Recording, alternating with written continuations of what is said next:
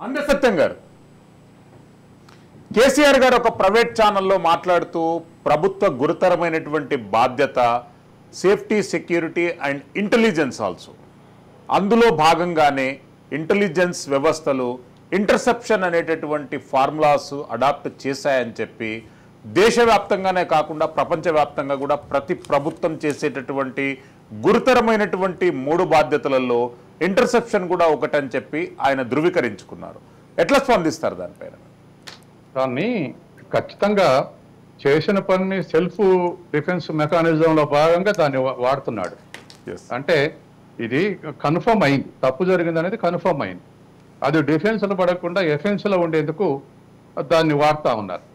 కానీ ఇవాళ జరిగింది ఏమిటి? ఇంటెలిజెన్స్ డిపార్ట్మెంట్ ఉంటుంది. తర్వాత కల్ప్రిట్స్ ఎవరైనా ఉంటే ట్రేస్ అవుట్ చేయడానికి ప్రయత్నం చేస్తారు. కానీ ట్యాపింగ్ చేయాలంటే హోమ్ సెక్రటరీ పర్మిషన్ తీసుకొని చేస్తారన్నారు. హోమ్ సెక్రటరీ పర్మిషన్ తీసుకొని చేసిన ఎన్ని? హోమ్ సెక్రటరీ పర్మిషన్ లేకుండా చేసిన ఎన్ని అనేది ఇప్పుడు తేలాల్సినటువంటి అంశం. అంటే ఉప ఎన్నికల్లో ట్యాపింగ్ చేయటం సెలబ్రిటీస్ ట్యాపింగ్ చేయటం వీటన్నిటికి కూడా హోమ్ సెక్రటరీ పర్మిషన్ ఉందా? లేకపోతే ఎవరు? దీని దీని వెనకాల ఇనిషియేషన్ చేసినటువంటిది ఎవరు? పోలీసులు వాలంటరీగా చేశారా? పోలీసులు వాలంటరీగా చేయడానికి అవసరమే ఉంది కాబట్టి వెనక ఇనిషియేషన్ ఎవరిది? కాబట్టి ఇవి తేలాల్సినటువంటి అంశం. కాబట్టి ఇవాళ కేసీఆర్ అది సహజమే అన్నట్లుగా దాటేశారు. సహజం ఎట్లవుతుంది? ఇంటెలిజెన్స్ ఇప్పుడు అన్ని ఇప్పుడు తెలంగాణలో కానీ ఆంధ్రప్రదేశ్లో కొత్తగా ఇంటెలిజెన్స్ డిపార్ట్మెంట్ లేదు. స్వాతంత్రం వచ్చిన దగ్గర రాష్ట్రం ఏర్పడిన దగ్గర నుంచి ఇంటెలిజెన్స్ ఉంది. కానీ ఫోన్ ట్యాపింగ్ సామాన్యులై రాజకీయ నాయకులై డెమోక్ డెమోక్రటిక్ స్ట్రగుల్స్ ఉన్నటువంటి వాళ్ళవి కూడా ట్యాపింగ్ చేస్తామంటే కుదరదు కదా. అది అఫెన్స్ కదా. గతంలోనే ఇజ్రాయిల్ నుంచి ఒక మెగా పెగాసస్ ఇంపోర్ట్ చేసుకున్నారంటే దేశ స్థాయిలో పెద్ద గందరగోళమైంది. దేశ స్థాయిలో ప్రభుత్వం మేము చేయలేదని చెప్పాల్సి వచ్చింది. మేము ఇంపోర్ట్ చేసుకోలేదని చెప్పాల్సి వచ్చింది. అది నిజమా లేదని తేల్చడానికి ఫర్దర్గా ఎక్కువ ఎంక్వైరీ జరగలేదు. కానీ పెగాసస్ దివ్యగతి చేసుకుర్రు అనేటువంటి వాటి అన్నిటి కూడా తిరస్కరించింది చేసుకోలేదని కాబట్టి ఇవాళ కూడా ఇక్కడ కేసీఆర్ అదే విధంగా రిజెక్ట్ చేయొచ్చు.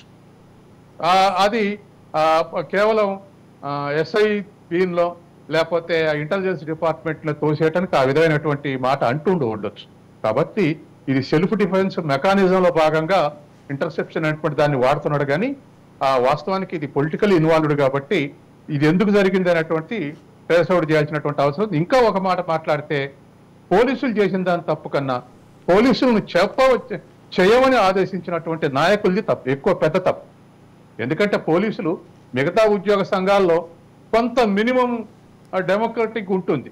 అంటే ఒక ప్రిన్సిపాల్ చెప్తే లెక్చరర్ అట్లా కాదు సార్ అని చెప్పొచ్చు. లేదా ఒక వైస్ ఛాన్సలర్ చెప్తే ప్రొఫెసర్ అట్లా కాదండి అని చెప్పొచ్చు. పోలీస్ దాంట్లో పై బాస్ చెప్తే కింద ఇంటోటో చేయటం అనేది జనరల్గా మనం చూస్తూ ఉంటాం. నైన్టీ నైన్ పర్సెంటేజ్ బాసిజం ఉంటుంది. కాబట్టి పై ఆయన చెప్తే ప్రభుత్వం చెప్తే పై ఆయన తినటం పై ఆయన చెప్తే కిందో తినటం.